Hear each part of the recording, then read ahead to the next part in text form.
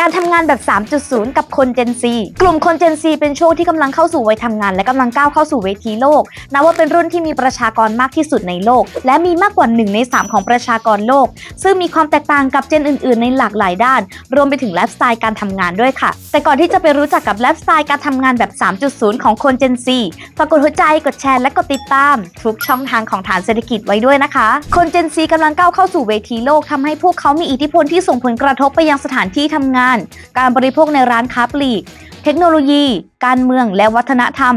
โดยคนรุ่นนี้แตกต่างจากคนรุ่นมิลเลนเนียลหรือ Gen Y อย่างสิ้นเชิง อีกทั้งยังมีมุมมองที่ไม่เหมือนใครเกี่ยวกับอาชีพการงาน และวิธีการกำหนดความสำเร็จในชีวิตและในการทำงาน Deloitte ร่วมกับองค์กร Network of Executive Women หรือ NEW ได้ทำการสำรวจแรงบันดาลใจในอาชีพ การพัฒนาอาชีพ รูปแบบการทำงาน ค่านิยมหลัก พฤติกรรมและอุปนิสัย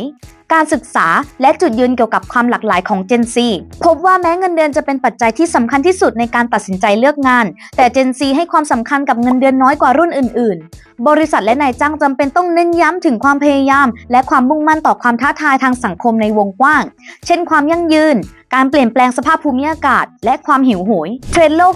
2024 Remade and New ระบุว่า ในแง่ของการทำงาน Gen Z และ Millennial ถือเป็นแกนหลักสำคัญของแนวทางการทำงานใหม่ ๆ ในการพยายามเรียกร้องพื้นที่การทำงานที่ยึดถือคุณค่า ตั้งแต่ความเท่าเทียม การไม่แบ่งแยก ความหลากหลาย และการสร้างสรรค์ร่วมกัน โดยจะเป็นยุคที่ผู้คนต้องการการเยียวยาทางอารมณ์และจิตใจ ฟื้นฟูสิ่งเดิมที่คุ้นเคย พร้อมรับความท้าทายใหม่อย่างเปิดกว้าง รวมถึงข้อมูลจาก World Economic Forum เปิดเผยว่า ภายในปี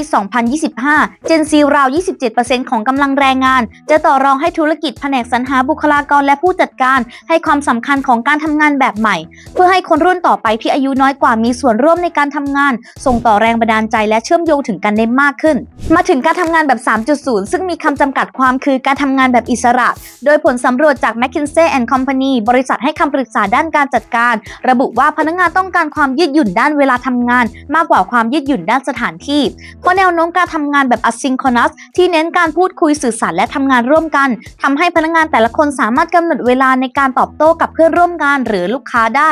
โดยพนักงานสามารถทำหน้าที่ของตัวเองได้อย่างอิสระ แต่ยังคงคุณภาพของงานและส่งงานตรงตามเวลาที่กำหนด ซึ่งจะช่วยให้พนักงานทำงานได้ตามเป้าหมายจากทุกที่ในโลก และผลักดันการเพิ่มขึ้นของการทำงานแบบ 3.0นอกจากนี้ในรายงานสถานะการทำงานโดย i l i g u l a Labs ระบุว่า ทักษะ soft skills จะมาแทนทักษะ hard skills ที่ไม่จำเป็นต้องอาศัยแค่ความเชี่ยวชาญเฉพาะทางในการประกอบวิชาชีพต่างๆ แต่อาศัยการบูรณาการข้ามศาสตร์ เป็นการตัดสินใจที่มาจากการคิดและสร้างสรรค์ร่วมกัน มากกว่าการกำหนดแบบเจาะจง และหากบริษัทต้องการผลักดันการทำงานแบบ 3.0 ธุรกิจควรจัดลำดับความสำคัญในด้านต่างๆ ตั้งแต่ด้านสุขภาพของการทำงาน การเสนออาชีพทางเลือกและจุดประกายความคิดริเริ่ม ที่จะช่วยให้พนักงานค้นพบความสำเร็จของตนเองในการทำงาน และดูแลครอบครัว ซึ่งจะช่วยเปิดช่องทางในการมองหาแผนสำรองในกรณีตกงาน และพบเจอโอกาสที่มั่นคงมากขึ้นนั่นเองค่ะ จะเห็นได้ว่าคน Gen Z ให้ความสำคัญกับรูปแบบการทำงานที่ตรงใจ และมีไลฟ์สไตล์การทำงานแบบ 3.0 กันเพิ่มมากขึ้นนับเป็นความท้าทายใหม่ๆที่ทั้งฝั่งนายจ้างและฝั่งคนทำงานต้องทำความเข้าใจ เพื่อหาจุดตรงกลางร่วมกันต่อไปค่ะ